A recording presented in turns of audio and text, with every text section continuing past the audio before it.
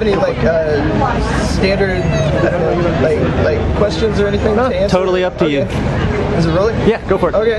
Um, hi, I'm Chet Gaines, and I'm here at Occupy Anchorage because I know that we have the technology and the capacity to feed and clothe and house everyone on Earth. We can do it without offending the ecology of the Earth, uh, but we can't afford to do it. So we need to find some other way.